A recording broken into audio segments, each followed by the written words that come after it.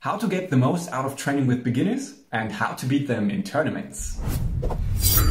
Hello there, Martin here from Schildwache Potsdam and today I want to talk with you about beginners in historical martial arts or historical swordplay that is.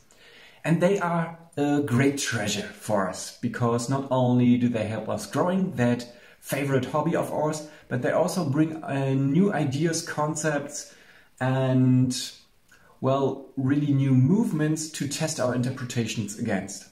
So, beginners usually have two characteristics which makes them really interesting for any experienced practitioners to deal with.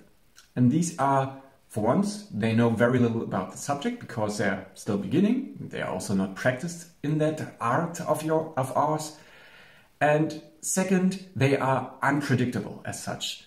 And that unpredictability makes them quite challenging for a lot of experienced practitioners uh, in tournaments to deal with. But let's first focus on the training side of things. So, how to get the most out of your training or your sparring with uh, beginners? Well, I think there are two approaches that are really useful here. And the first thing is a constraint based approach, especially in sparring.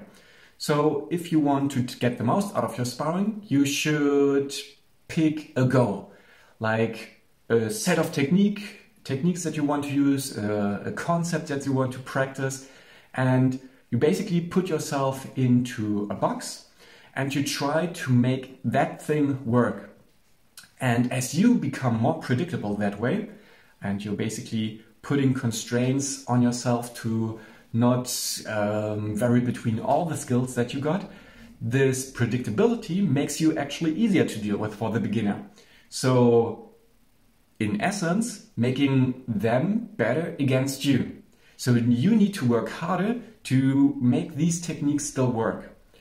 And by already being experienced, right, you can loosen up these constraints to generate the kind of optimal rate of success. So you know this already from drilling when you want like your drills to be like challenging, not too easy, but not too hard as well. So you get like that really feeling of a flow into your technique where everything feels, like I said, challenging. So the success rate should be um, around 50 to maybe 80%, but it's not too easy, it's not too hard. All right.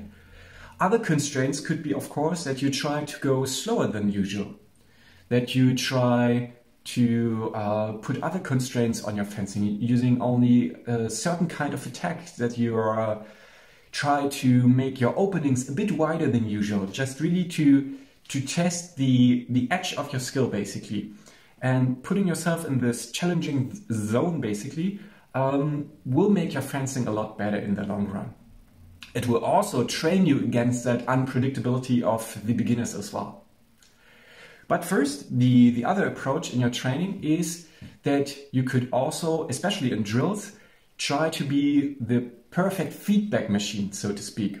So the, the coach usually plans out the lesson and I would generally advise against on just verbally giving some extra teaching basically to your fellow students and beginners because that generally just interrupts the lesson and usually um, the coach has a much better plan of what verbal instructions and um, cues they have to give. So you actually don't want to overwhelm your fellow students and beginners, but you can present them with a perfect feedback machine. So what do I mean by that? Well, every time they do the right thing in an exercise, they need to succeed.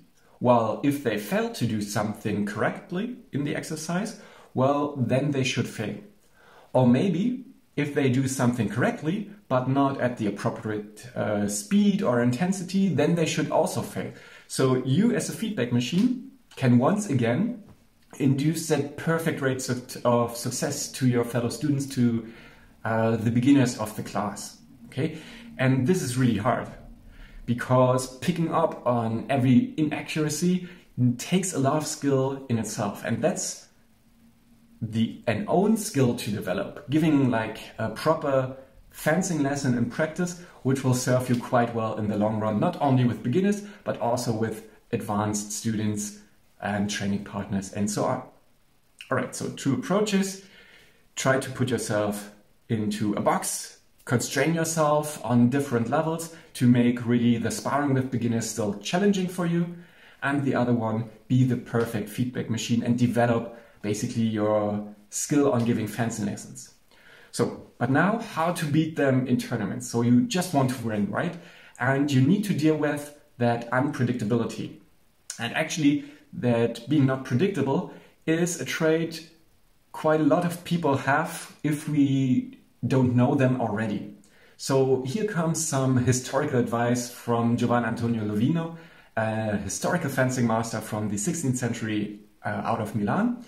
And that is against fences that you do not already know, you shouldn't use feints and thereof, but you should actually use like constraining actions, beats, um, overbinds, and direct actions to feel them out. Because, especially with feints, which are usually conducted to entice a defensive response of your opponent, you don't really know if they actually pick up on that feint. Maybe uh, it's too subtle for them. Maybe they'll do just a panic reaction, they go away, or even worse, they attack into, into your feint, which is of course for them quite beneficial because in that movement of your feint, um, you're not really threatening them, you might be open, so uh, that's a good thing to do for them. And you don't really know if they react to that feint. So get more on the side of things that you want to constrain them, that you want to use beating actions, and if you then notice that they react to your direct attacks or with, with the white parry or something like that, then work with feints, then work with like these little disengagements, right? So try to make them basically more predictable by filling them out. And in that process, don't open yourself too much, right? Okay, another approach in tournaments would be to make them taking a tempo. So make them move. Because if they move in a certain way, so for example, they strike you from their uh, right shoulder, then it's really hard for them, if they strike committedly at least, really hard for them to make any other motion or diversion in that same time. So basically, as they're doing that committed motion, they just became predictable. Okay, and this is the time where you can then, of course, do your parry post or maybe even a counter thrust or something like this. So you actually want to provoke these types of actions.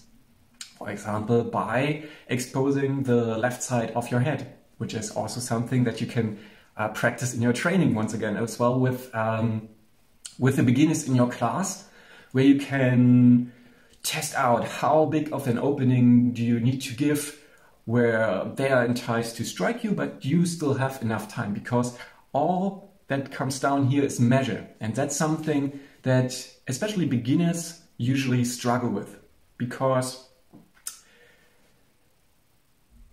the measure measuring the distance between two opponents is largely dependent on factors like of course weapon reach but of course it's the speed of the footwork the speed of the hand so it's athleticism that uh, plays a role here, not only your own, but also that of the, your opponent.